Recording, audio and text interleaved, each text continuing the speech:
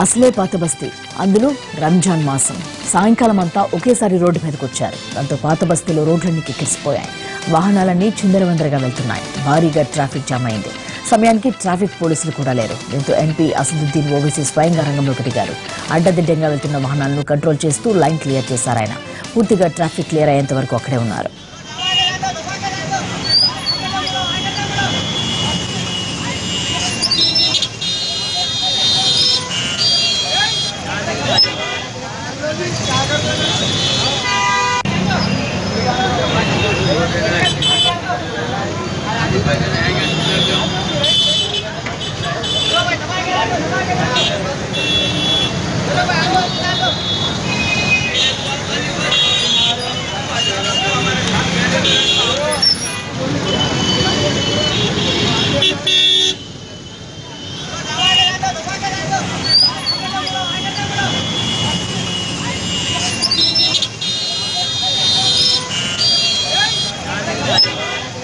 भी